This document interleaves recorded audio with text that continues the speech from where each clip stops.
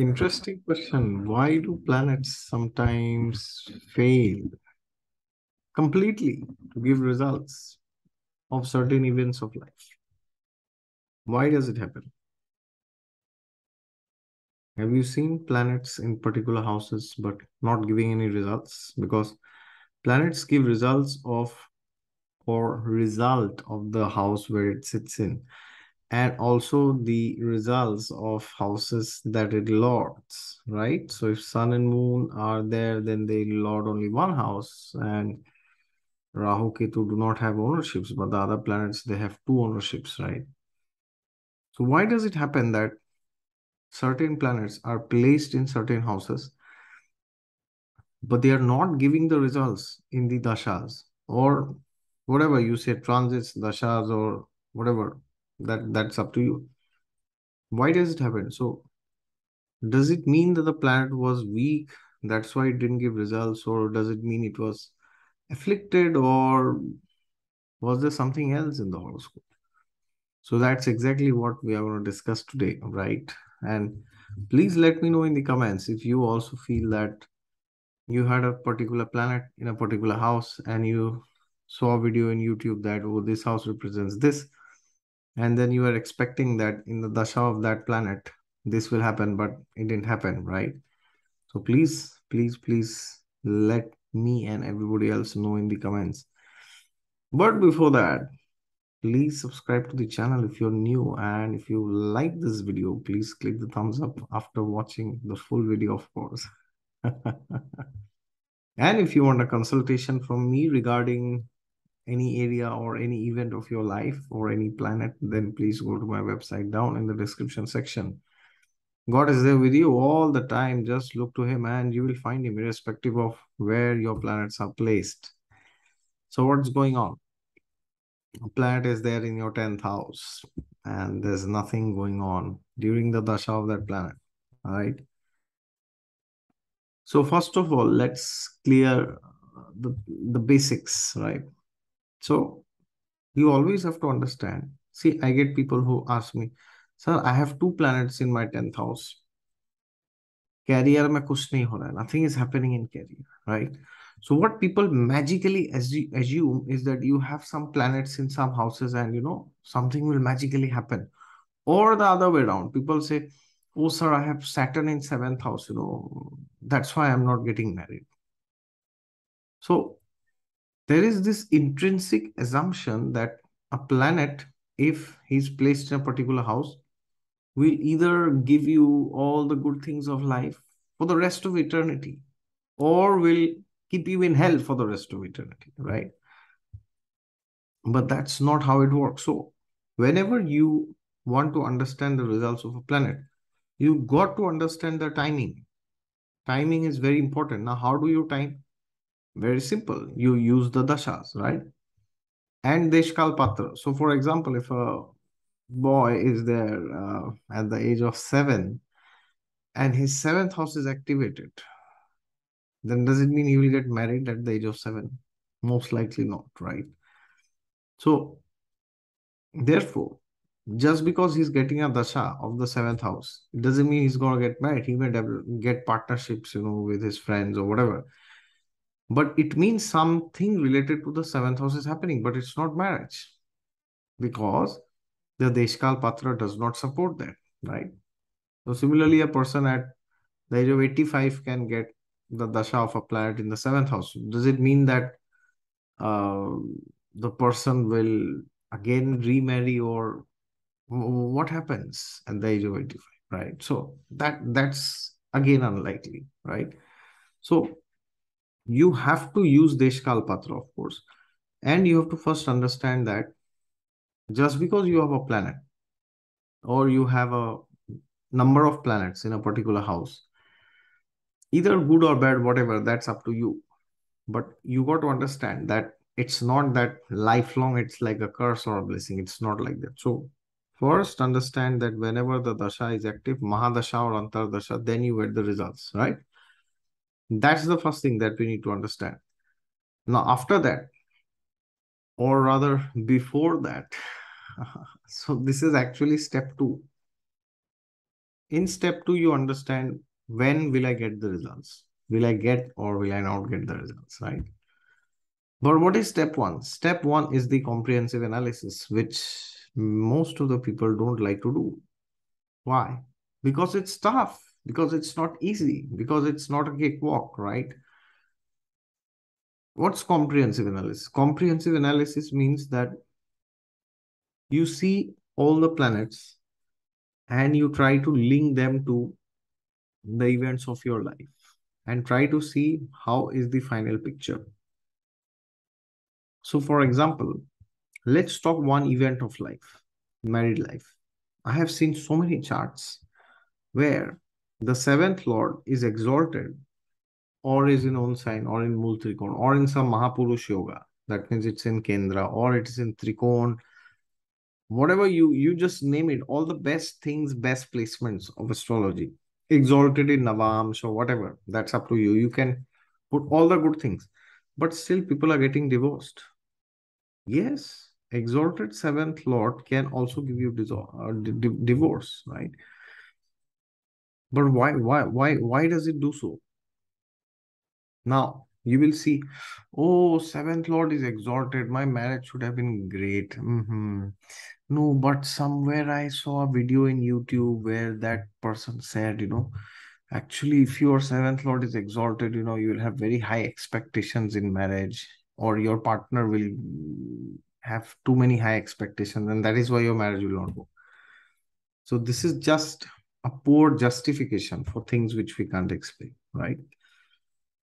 But suppose this is happening, why does this happen? Now, understand what is happening what has happened? Your marriage has broken. But that's the problem. Marriage is not just seventh house, right? Marriage is the second house. There is fifth house involved. There is ninth house involved. There is eleventh house involved, right? The seventh house, seventh lord, will show the event of wedding. You know, whenever the seventh lord is activated, you know, there can be marriage. Or you may get proposals and things may go ahead, right? But does it show the entire married life? Absolutely not. Absolutely not. Absolutely not.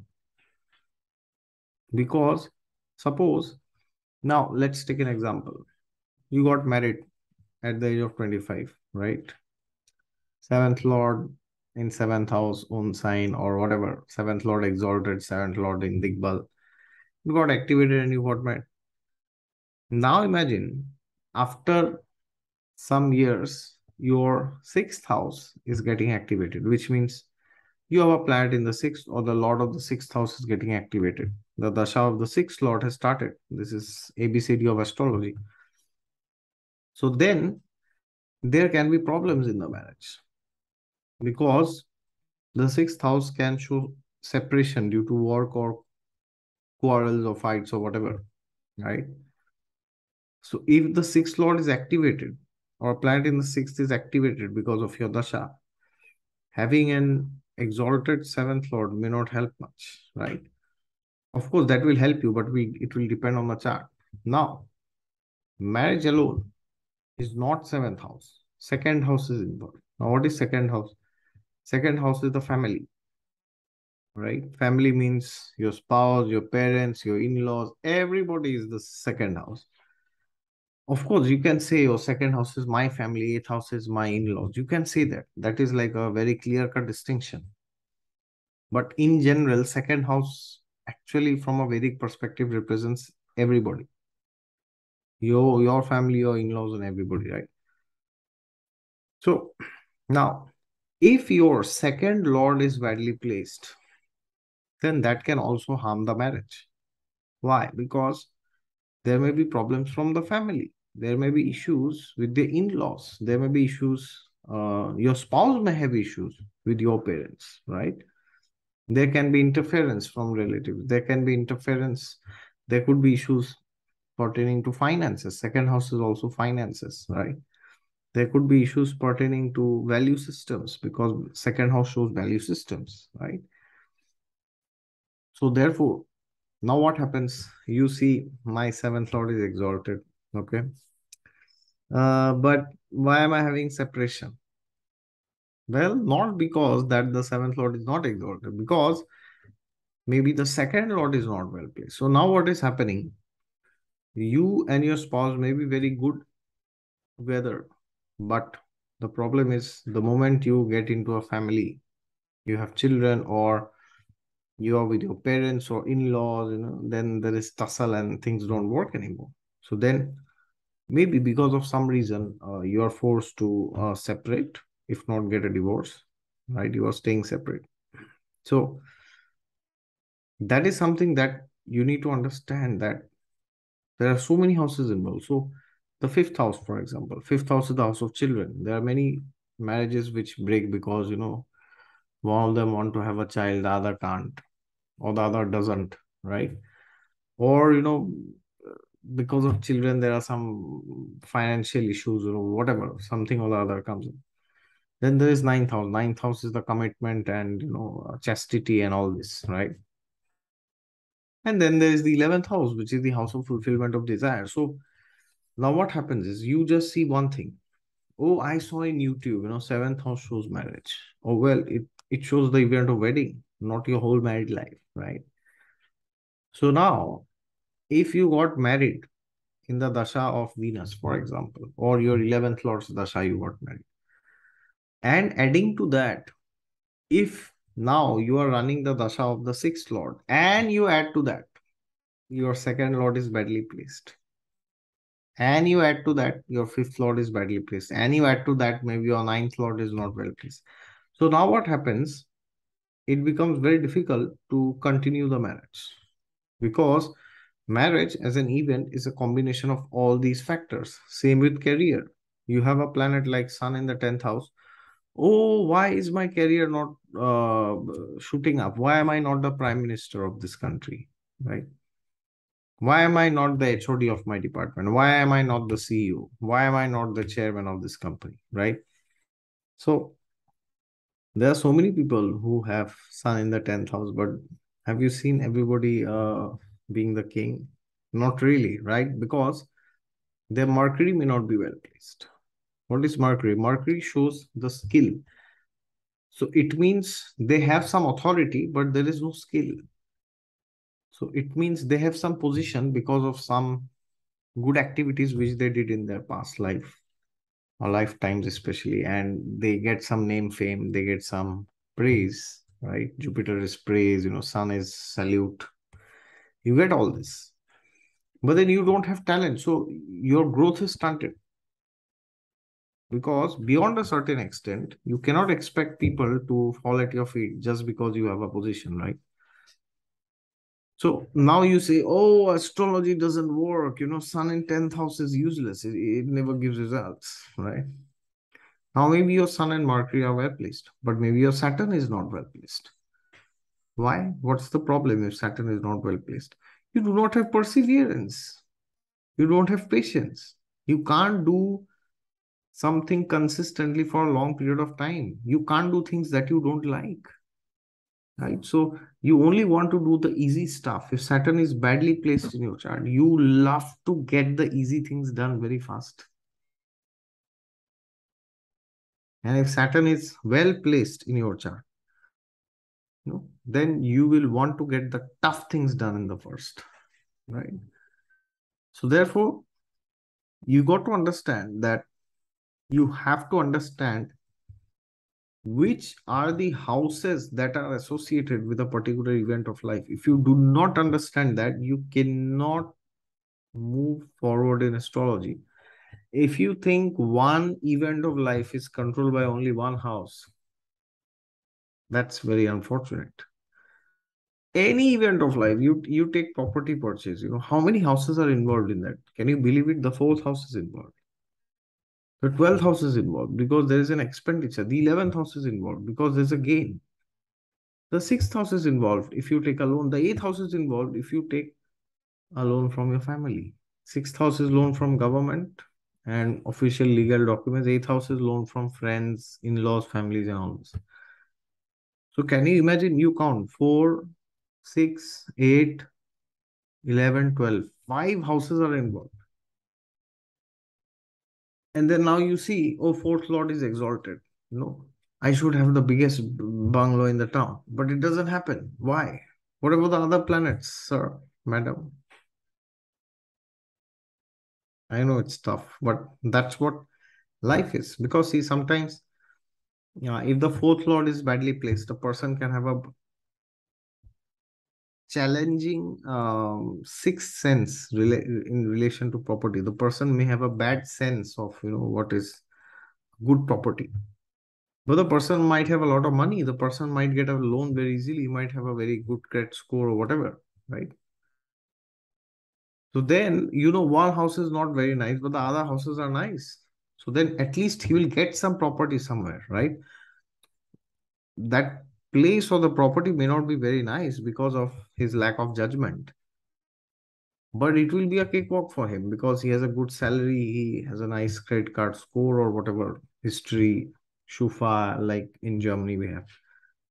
But now imagine a person has, you know, exalted fourth lord, Venus is in the fourth, moon is in the fourth. Very nice sense of property. Ah, Aha, kya baat hai. But this poor fellow does not have a job. Which bank is going, going to lend him some uh, loan? No bank, right? They're not there for charity. They're they're here to make profits from your loan, right? So if that itself is not there, what's the use of having an exalted fourth lord?